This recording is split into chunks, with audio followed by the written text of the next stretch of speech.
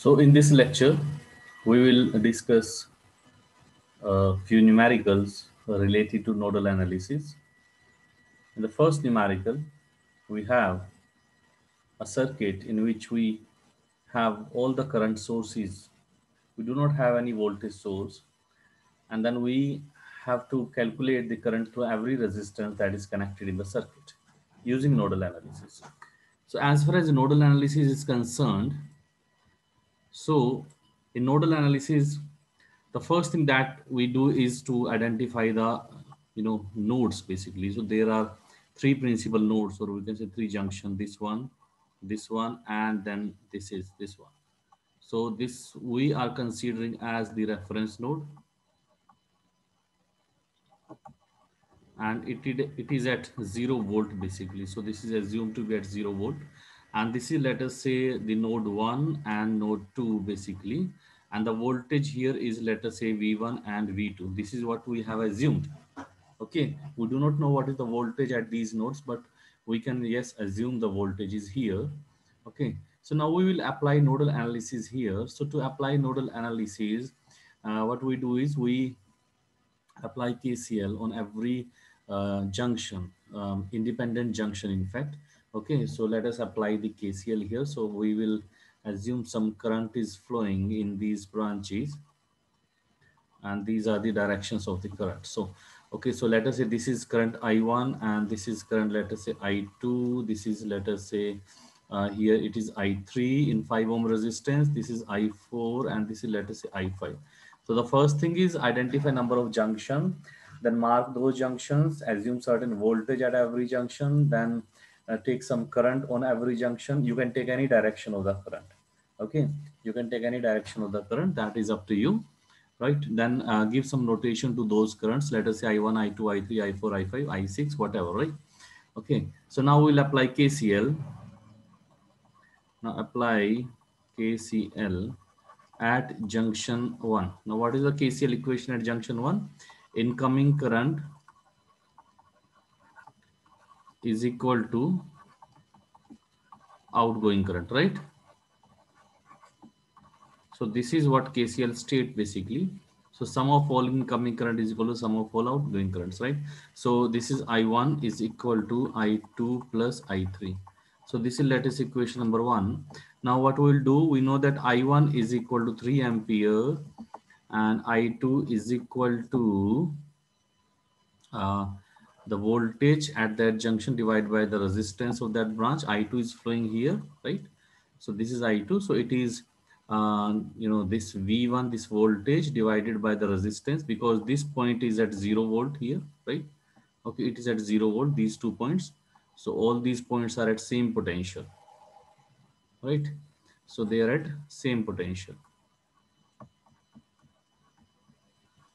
Now Okay, so uh, I2 is this and then I3 is equal to, what is I3? So I3 is flowing from junction 1 to junction 2. So it is flowing like this, junction 1 to junction 2. So that is why junction 1 is assumed to be at the uh, highest uh, potential and junction 2 is assumed to be at the lowest low potential basically. So it is V1 minus V2 divided by the resistance that is 5 ohm, right? So now what we do, we will substitute all these values in this equation. We get uh, 3 is equal to V1 by 2 uh, plus V1 minus V2 by 5. Okay, so we'll simplify this equation. So on simplifying, we'll get uh, like, so V1 5 plus 2 V1 minus 2 V2 is equal to 30, right? So uh, this will give us 7 v1 minus 2 v2 is equal to 30 so this is one algebraic equation with us. This is let us say equation number 2 now similarly we can apply the kcl at junction 2 so now let us apply. Okay so now we will apply kcl at junction 2 now what will be the KCL equation at junction 2? Let us see. So the KCL equation at junction 2 is the KCL equation at junction 2 is uh, incoming current is I3 and outgoing currents are I4 and I5. So it is I3 is equal to I4 plus I5, right? So I3 is same here. So it is same, right? Now I4 is equal to, so I'll write it here, okay?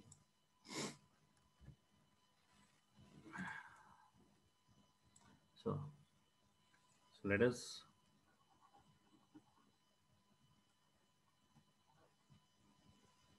no. So I4 is equal to V2 because I4 is flowing in which branch? Let us see. I4 is flowing in this branch here. Okay, this is I4 it is flowing like this. So I4 is flowing from junction 2 to the reference junction. So it will be V2 minus, sorry, V2 divided by the resistance that is 1 ohm. And similarly, I5 is, now let us see what is I5. So I5 is, you can see it is, uh, you know, 2 ampere basically. And the direction which you have assumed and the direction of the current source is same. Okay, so we'll take it as positive 2, right? Okay.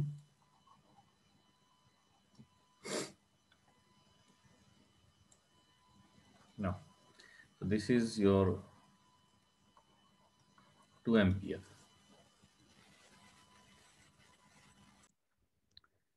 Now we can substitute these equations in this, let us say this is equation number 3.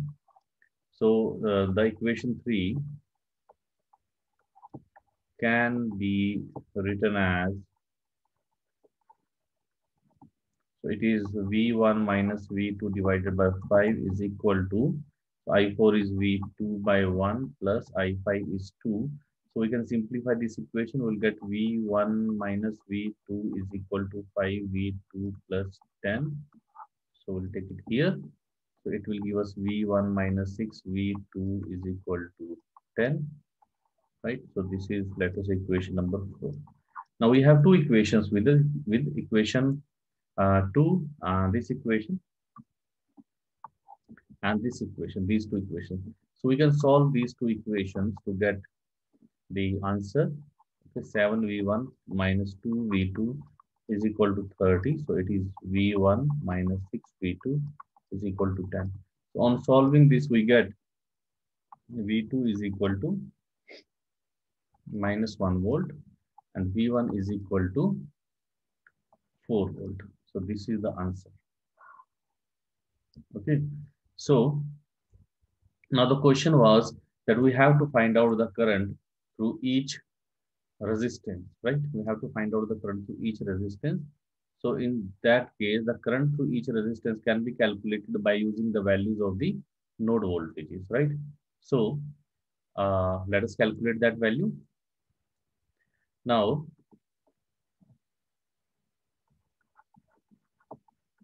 to calculate the currents through each resistance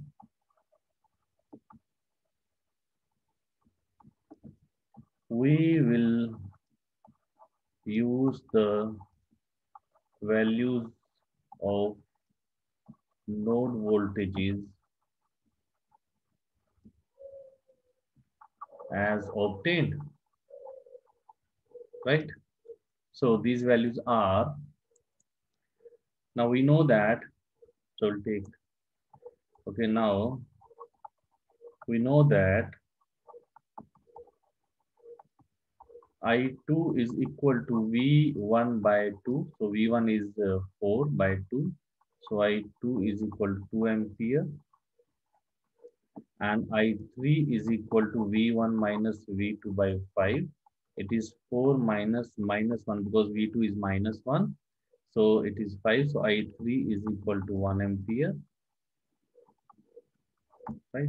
And then I4 is equal to V2 by 1, NP minus 1 by 1. So I4 is equal to minus 1 ampere. So we can write hence the parameters obtained are V1 is equal to 2 volt, V2 is equal to minus 1 volt, I2 is equal to your 2 ampere.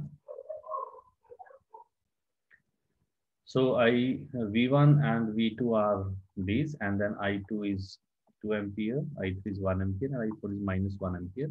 So the negative sign, as we all know, the negative sign only indicates the actual direction of flow of current. Okay, so what does it mean? It means that actually your I4 is not flowing in the direction which you have assumed. So actually the current is flowing in the direction opposite to what you have assumed. So that means actually this current sorry. So actually, this I4 current is flowing uh, towards junction 2. So it is actually flowing towards junction 2, not away from the junction. So this is what it means, right? So this is how we can solve uh, uh, an electrical network which has all the current sources but no uh, voltage source, right? So uh, now this was a special case basically. Now in our next uh, video, we will discuss that how to solve a network in which we have a super uh, node basically. Now what is super node that also we will discuss. And